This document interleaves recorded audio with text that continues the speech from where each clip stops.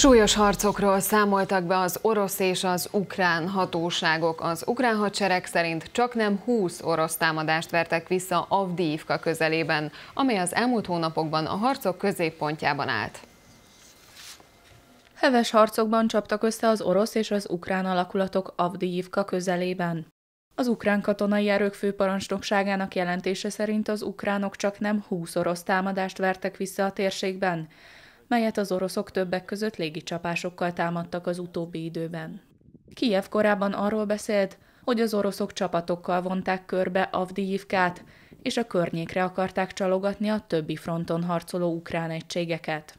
Sokan az ellenállás szimbólumának tartják a Donetsk menyei települést, melyet az oroszok nem tudtak elfoglalni, annak ellenére, hogy a régió nagy részét ők ellenőrzik. Eközben Moszkva tagadta, hogy közel lenne a balti konnektor gázvezeték megrongálásához. Lettország elnöke múlt héten egy interjúban beszélt arról, hogy a NATO-nak le kellene zárnia a balti tengert a hajózás előtt, amennyiben bebizonyosodik, hogy Moszkva részt vett a gázvezeték megrongálásában. Dimitri Peszkov elfogadhatatlannak nevezte a fenyegetéseket, és tagadta, hogy Oroszországnak közel lenne az akcióhoz. A balti konnektor gázvezeték Finn és Észtország közt fut, a vezetéken október 8-án észleltek nyomáscsökkenést, a hatóságok pedig arra gyanakodnak, hogy szabotás akció történt.